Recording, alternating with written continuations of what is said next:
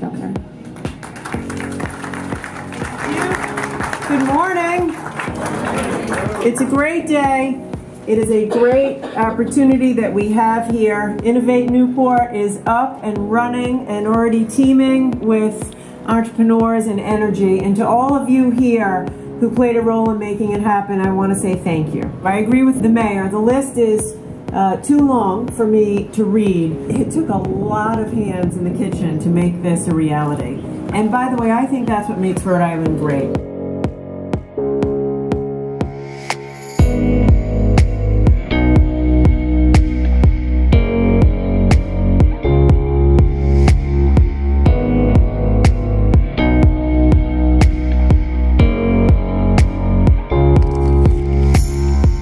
With Jamie Bova, the current mayor of Newport and supporter of Innovate Newport. Jamie, tell us how you think that Innovate Newport is going to impact the city of Newport going forward.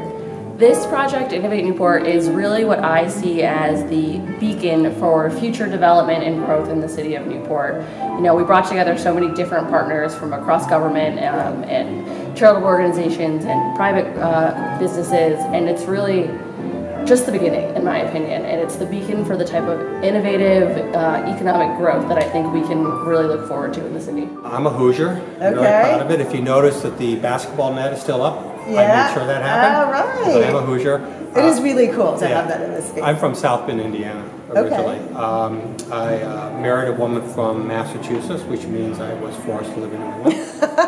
so uh, I went to. It's always the other I way. know. I went to UMass uh, Amherst um, for grad school, got out, and got into business of economic development, and came to Rhode Island in 1984. Uh, So you've running- seen a lot of change. Yep, running this organization, so I've been in this organization for 33 years. It's never because of any One person. It's never because of an organization. Uh, I think part of this is really understanding that. Yeah.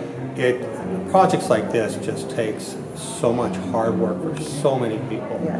And they all have to be committed to the vision. Uh, and this is proof. We um, ran into a couple of stumbling blocks, but the city, Joe Nicholson, showed uh, tremendous persistence.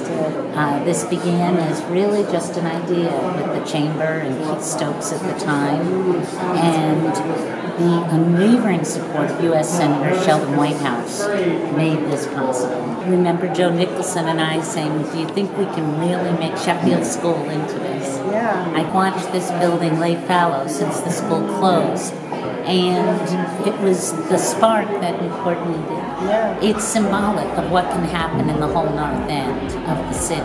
It's not just this building. This is a true public-private collaboration. Public at every level, federal, state, and city, private with nonprofits as well as small businesses. So I know it took a long time to get here, but I promise you it was all worth it. And to all of you who played a role, thank you. And I can't wait to come back in a year, in two, in three, and see this place as a beehive of innovation, busting at the seams, and all the jobs and energy that it'll create.